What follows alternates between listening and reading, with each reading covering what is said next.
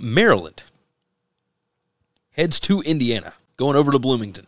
Indiana is an 11.5 point home dog here, total of 62 over at BetUS. 3:30 p.m. Eastern Time on ESPN2. Maryland 2 and 5 against the spread against Indiana in the last 7 meetings. That's nuts. Absolutely nuts. Uh, I, I would not have believed that if I didn't read it with my own my own two eyes. Maryland 4 0 against the spread uh, in their last four on the road. And let's go and pull it up on the screen so that you can be looking at the numbers. Um, but Maryland four and one against the spread in their last five overall. This season has been pretty good. This looks like a pretty stout defense. The offense not quite as explosive as we assumed, but regardless, the defense has uh, certainly surprised. Indiana three and nine against the spread their last twelve Big Ten games. Uh, not good. That's uh, against the number for sure. Indiana three and thirteen against the spread in their last sixteen games overall. Putrid, just absolutely awful. Uh, you look at strength of record, you look at strength of schedule, and then you start seeing uh, on this sheet the green is good and the red is bad, of course.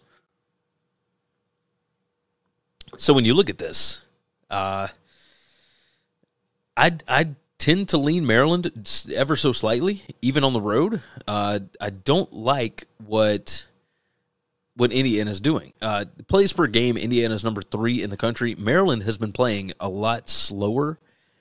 If you can slow down Indiana, I think you can really, really make them confused, right?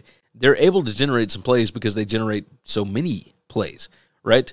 Uh, they're number 110 in PPA per pass is Indiana. They are number 107 in passing success rate, number 94 PPA per rush, number 116 in rushing success rate. And if you look over on Maryland's side, they are really good on defense at all of that.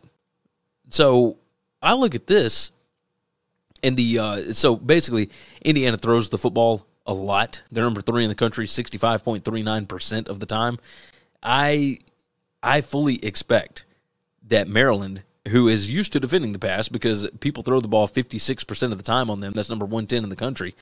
Uh, I think that Maryland is going to be able to slow this team down. And when you look at the offense, uh, no, they're not going to be able to run the football, but they only run the football at like a 44% clip. So uh, their offense, as far as the passing game is concerned, I think is going to be able to do some big things here. The number uh, 30 in passing explosiveness. Um, and Indiana's defense is number 41 in passing explosiveness allowed. So they're pretty even there. But when you look at the defense overall, number 114 in PPA per pass, and Maryland is number 41 on offense on that. I think that you can find big time advantages for Maryland here. Uh, points per scoring opportunity, all that kind of stuff. It all leans Maryland. So I am, I'm going to ride with the Terps here. Uh, I know that I'm going with another road dog or road favorite, excuse me. But I like Maryland. I think this team's really good.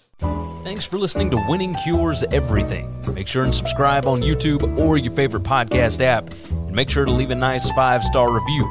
You can follow Gary on Twitter at GaryWCE, and the show is at Winning Cures. Be sure to check out the merch in our web store and share the show.